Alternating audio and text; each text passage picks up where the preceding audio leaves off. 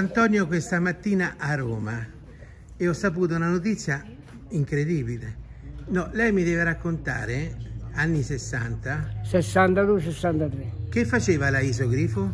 Eh, facevo i sportelli come la Iso Rivolta, uno delle prime Quindi sei. cofani e, E portiere. sportelli. Eh. Tessera piante, montanti, poi si, da A a Z, serrature montate perché andava in verniciatura.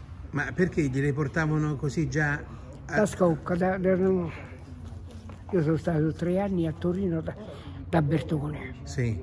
E a quell'epoca si faceva que- quelle macchine lì, Quindi stava a Torino. sì. Senta, e com'era? Che, che ricordi ha della isogrifo? Eh, che ricordi? I più belli, nel senso che io voglio tanto di imparare. Ma come erano fatte queste isogrifo? Erano fatte a pezzi le dovevi costruire sportelli dei cofani.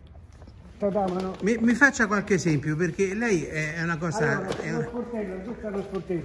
Ma davano sto montante qui, con le cerniere, con i spinotti, li montavi, l'accoppiavi col sotto, col sopra, l'interno, che la serratura si chiudeva con le gomme, poi l'esterno, l'attaccavi 4 mm. Com'erano le lamiere? Se lo ricorda com'è? Mi dica, mi dica qualcosa di sempre sulle isogrifo. E la mia era come adesso, da un millimetro. Da? Un millimetro. Da un millimetro. Da un millimetro.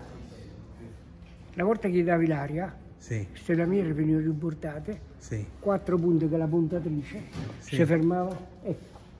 Questo è lo sportello, e davano sto pezzo qui. Questo qui, questo qui, erano in quattro pezzi.